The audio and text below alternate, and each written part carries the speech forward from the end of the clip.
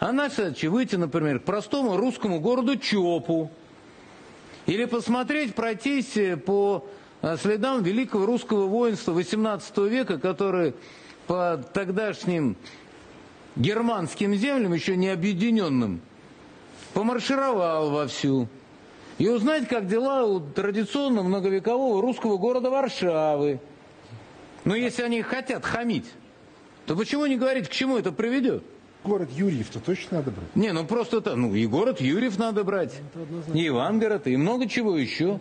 Не, ну то есть, если мы начинаем говорить серьезно, если мы понимаем, какие ставки, то пусть трясется сволочь.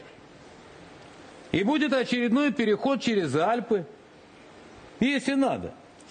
Посмотреть, как там памятник Суворову. И посмотреть, помнит ли в Милане, как руки целовали русским солдатам.